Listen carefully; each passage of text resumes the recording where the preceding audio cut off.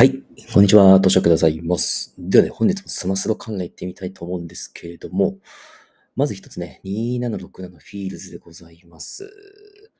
いやー、フィールズね、あのーちょっと、なんて言うんでしょう。上値抑えられて落ちてくるかなと思ってたんですけど、結構ね、粘ってんすよ。やっぱちょっとこの上のあたり、ここら辺はね、意識されてる気はするんですけれども、安牌であればね、2000超えっていうところが、まあ、今ちょうど出来高ね、このあたりが多いんですよね。うん。なんで、ここを支持線としていっているのかどうかっていうところでね、結構面白くなってきてますね。うん。今、バビョーンと5日線が上抜いてきて、25、75を組んできてますので、で、まあ、ぼちぼちね、うん。あのー面白くなってくるかなと思思ってます。まあ、何気にね、弱いながらも結構切り上がってきてるんですよ。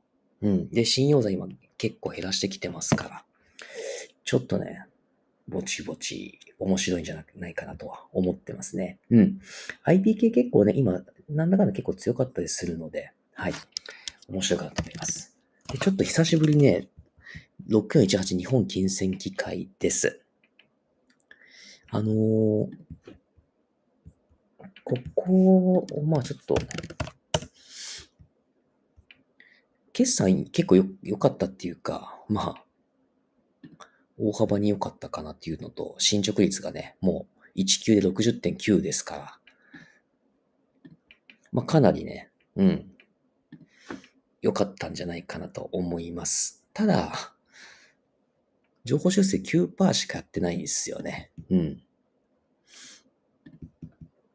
ここのあたりで、ちょっと周りを見るとね、あの、まあ確かに新紙幣に切り替わってるとこ多いんですけど、あの、パチンコとかでもそうなんですけど、新紙幣変わってないとことか、まだあったりとか、街に出かけるとまだね、旧紙幣のものとかあるので、意外にここって2級決算も面白いんじゃないかなと思うんですよね。うん。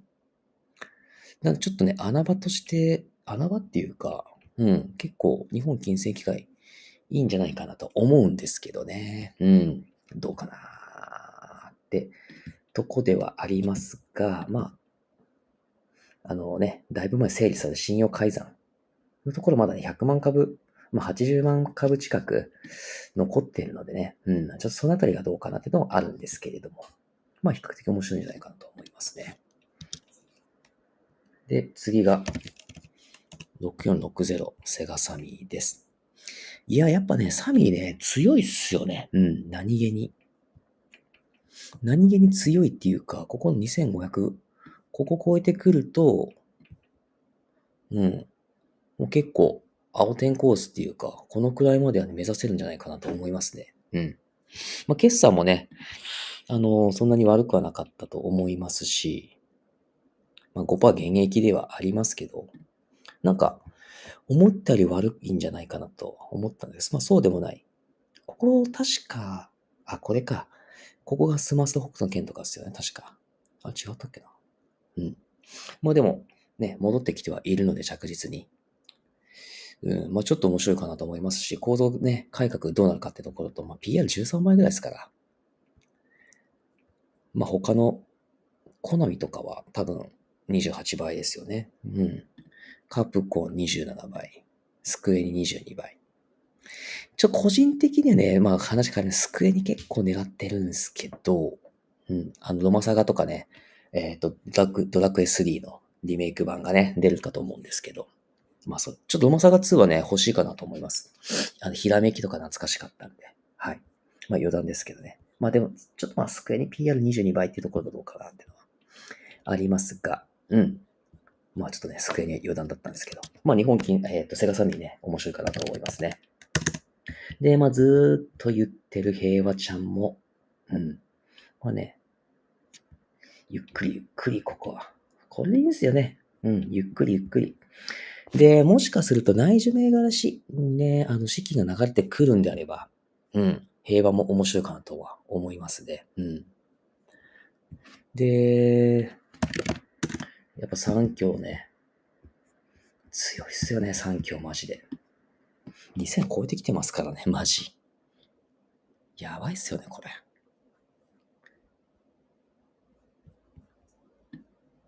うん。ほんとここ強いっすよ。なので、そうすもあの、最高更新でしたよね。えっ、ー、と、うん。あ、上場代はまだか。11,300円が93年なんで、5分割したからまだ、まだあるんですけど、まあそれに向かってる。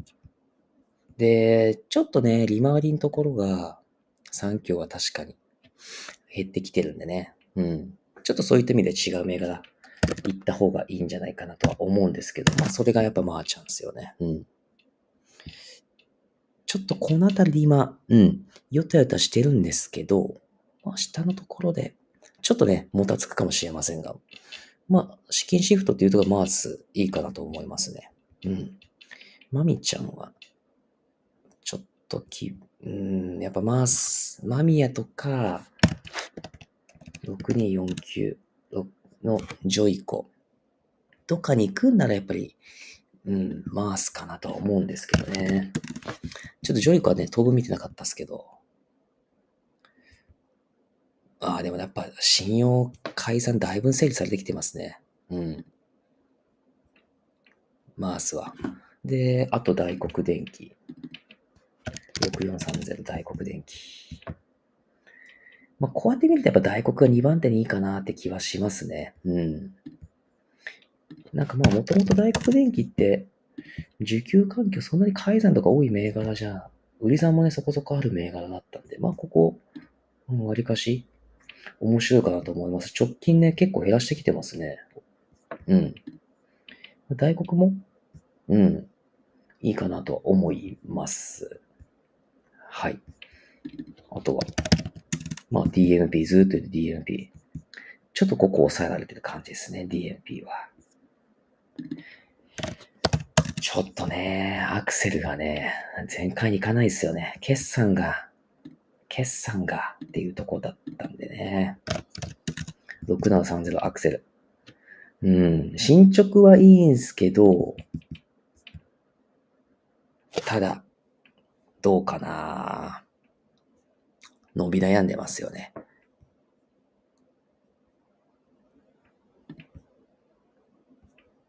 まあ、確かにね、キャッシュリッチなのはキャッシュリッチなんですけど、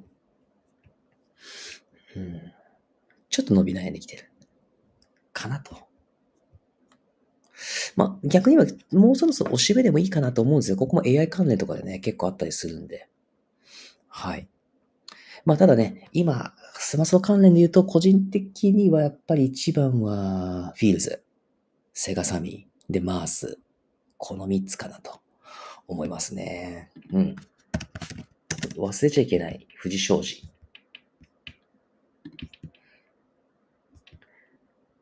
富士商事もね、どうかな。ちょっと大泉はね、別な、あの、新次郎さんの兼ね合いで上がってきてはいるんですけど、こういったところもね、このキャッシュをなんとか還元に振り向いてくれたら面白いかなと思うんですけど。はい。まあね、いずれにしろちょっと資金がもしかする内需関連に向くんであれば、もう一回ね、このあたりのあのセクターっていうところは注目されてもいいんじゃないかなと思っているので、ね、はい。まあ注目していってもいいんじゃないかなと思います。以上です。